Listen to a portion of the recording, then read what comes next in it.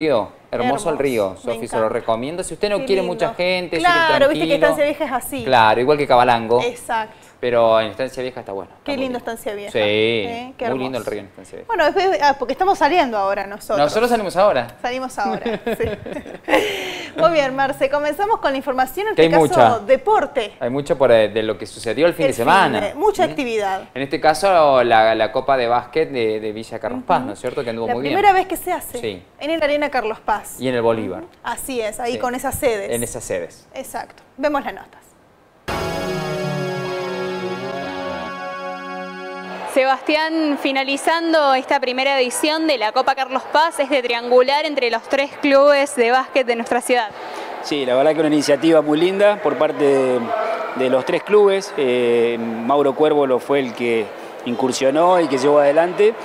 Y nosotros acompañamos esta propuesta junto a Daniel, que la verdad que lo que nosotros priorizamos más allá del juego, de quién se lleve la copa, es de que hoy toda la familia de Carlos Paz puedan estar acá y haciendo un reconocimiento a los que han marcado la disciplina en el tiempo, desde Germaneto, Rasic, eh, los, los Chossi, la verdad que eso es lo que, lo que priorizamos nosotros y los más chicos que la verdad que han tenido una, un triangular muy lindo que se vivió primero en el Bolívar, después en el Pesca, el Sarmiento también que se ha incorporado como, como un club que está incursionando lo que es el básquet, le está yendo muy bien y hoy la final acá para, para ver quién se lleva la copa eh, ya jugando la primera. ¿no?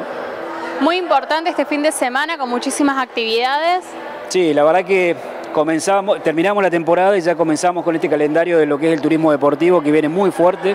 La verdad que todo lo que es marzo, abril, mayo y junio inclusive también, venimos con un calendario de torneos nacionales, panamericanos, sudamericanos que eh, nos permiten romper esa estacionalidad que tiene toda ciudad turística eh, y ese efecto de derrame que genera en los comercios, la gastronomía y la hotelería. La verdad que este fin de semana se vivió desde el boxeo con un título latinoamericano, con lo que fueron clínicas eh, a cargo del Club de Ciclistas de nuestra ciudad. Eh, bueno, una maratón que convocó más de 2.000 personas, que fue una de las que más convocantes dentro de los 21K, y así un montón de disciplinas más que han traccionado, no solamente con gente de la ciudad, sino que también eh, con la gente de la provincia de Córdoba. Intendente, muy importante seguir apoyando y potenciando estos eventos para justamente poder permitir romper la estacionalidad. Eh, así poco que, agregar a lo que dice el secretario de, Turismo, Sebastián.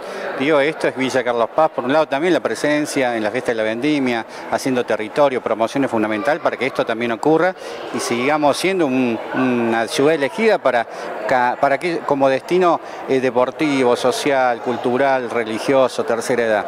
Y hoy tener un fin de semana de estas características, con estas disciplinas, con maratón, con clínica de ciclismo, con, lo que importa el boxeo, esta Copa Carlos Paz, esta primera edición que seguramente irá creciendo y conteniendo también a muchísimos jóvenes, estos tres clubes insignia de la ciudad, el Sarmiento, el Pesca y el Bolívar, son fundamentales para nuestra comodidad, para mantener a, los jóvenes eh, ocupados en algo tan sano como es lo deportivo y en definitiva esa es la conclusión, una ciudad que eh, se sigue construyendo en, una base comunitaria comunidad, cuando está contenido obviamente tenemos un futuro y ese futuro tiene que ver con el conocimiento, con el deporte, con la cultura. Así que es un camino muy lindo el que estamos transitando y ya cerrando la Copa eh, y esta primera edición tan importante para la ciudad.